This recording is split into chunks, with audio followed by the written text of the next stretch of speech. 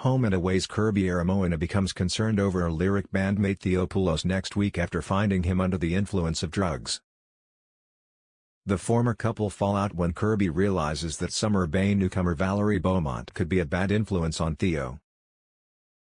In upcoming scenes on Channel 5, Valerie tells Theo that she uses party drugs as a distraction from her grief and guilt over her late brother. Valerie offers Theo a pill so that he can experience it for himself.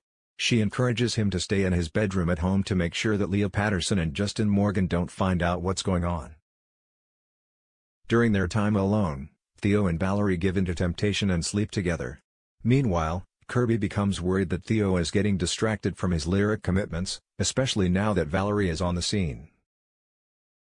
As the other band members have their own issues to focus on, Kirby takes the lead with confronting Theo.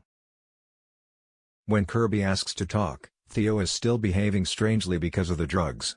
Kirby is initially confused over his odd mood but quickly realizes that he's high and that Valerie must have supplied him with a pill. Refusing to listen to Kirby's judgment, Theo cuts her off and walks away.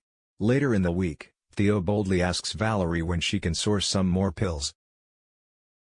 Valerie becomes stern with Theo, pointing out that this isn't a game and he needs to tread carefully. Theo promises that he can handle it and even offers to use his money from a recent salt gig to pay for the drugs. Is this the start of a bad habit?